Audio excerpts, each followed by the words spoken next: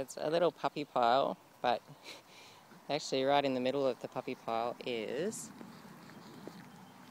excuse me pups, one of the big, big dog's bones that they've absconded with. Guess I like buffalo.